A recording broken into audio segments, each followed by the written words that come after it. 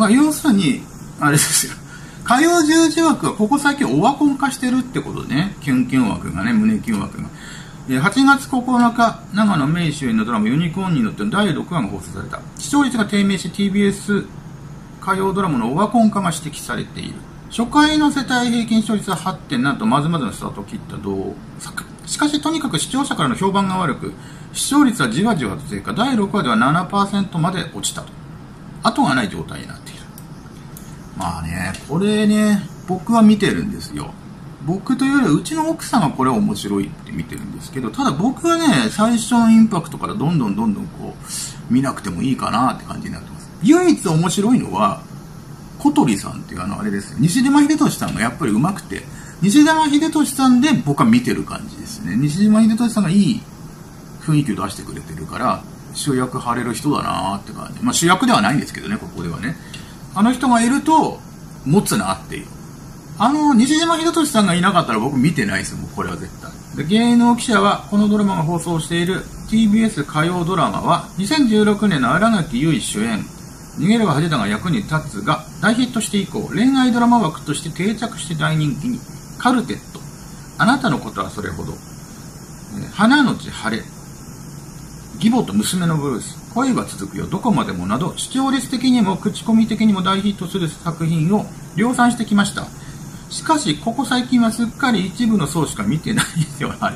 あ、一部の層ね、確かにね。でも多分、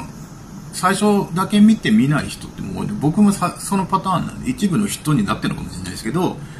僕別にでも、火曜十字枠だけじゃなくても、大体一回は見るんですよ、一つのドラマにしても何にしても。まあ、そこで自分に合うか合わないか決めるって感じなんですけど、特にやっぱここ最近の火曜十字枠は、おっしゃる通り、これね、ま、毎日が言ってるんですけど、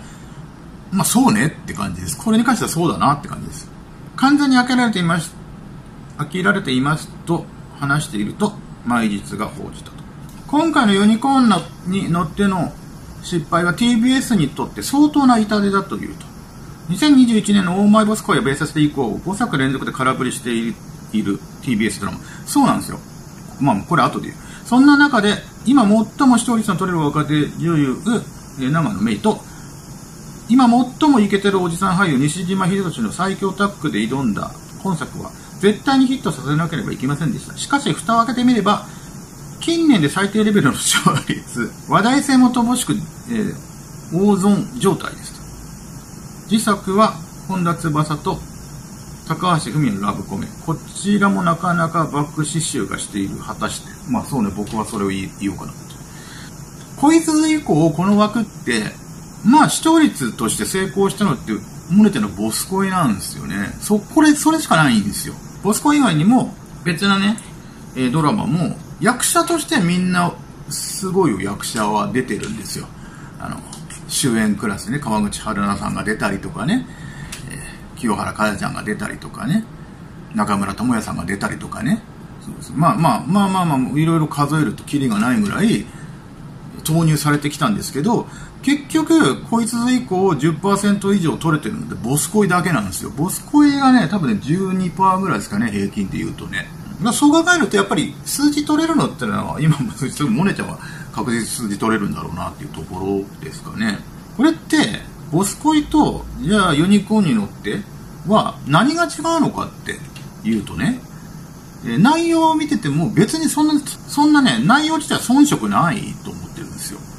話的にもちょっと似てるしね、あの仕事に、仕事関連の話だし、仕事関連の方が比重がでかいし、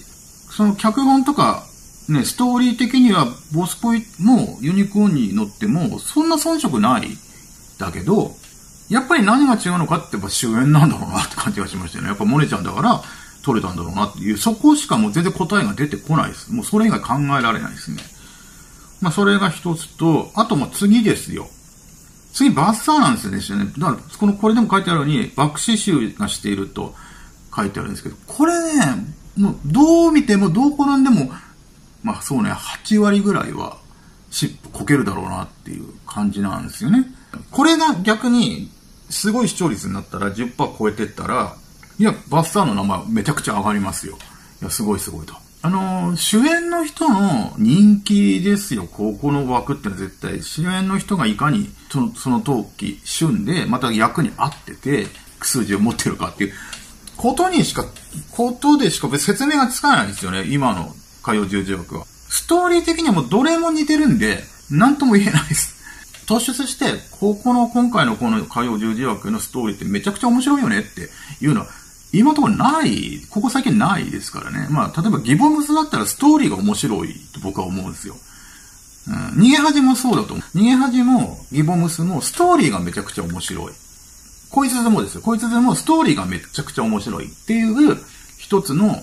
強みがあって、そこに乗っかってくる俳優さんも、まあちょうどパワーがあるっていうところあるけど、そうですね。ここ最近のストーリーがね、似通ってるんで、突出して面白いものがないんですよね。そこが難しいとこかなと思ってます。今後この火曜十字枠どうしていくかってなると、まあ、またモネちゃんとタケルくんを出すか、あるいは、思いっきりストーリーをもうラブコメとかそういうのに、ラブストーリーとかに寄せずに、面白い話を作るっていうことぐらいしかないんじゃないですかね。僕やっぱ六本木クラスとか見てますもんね、今日やるけど。今、話は面白いんですよ。なんだかんだ言われても、なんだかんだああっても、やっぱり視聴率もそ、そこそこいいし、評判もいいですよね。うん、やっぱストーリーがぶっ飛んでると面白いなと思いますよね。と思います。